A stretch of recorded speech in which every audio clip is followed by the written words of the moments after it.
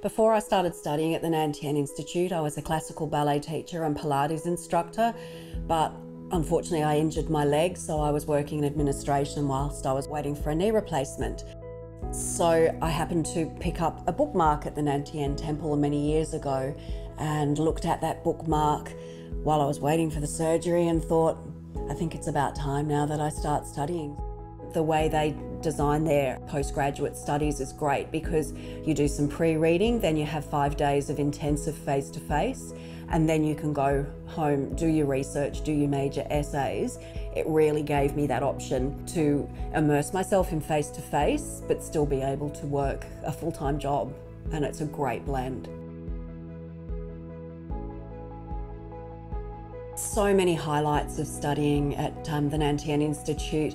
They've got amazing lecturers. They all seem to be top of their field and they're so generous with their knowledge. So instead of just turning up and listening to lectures, they really engage with you and you feel like it's very immersive. So when you're in the classroom, you're surrounded by people who all have that same sort of drive and that desire to learn.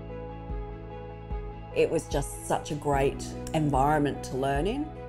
I would recommend studying at the Nan Tien Institute to anybody who wants to be invested in their education. So, if they want to immerse themselves, not just come out with a qualification, but come out feeling like they've found their better selves.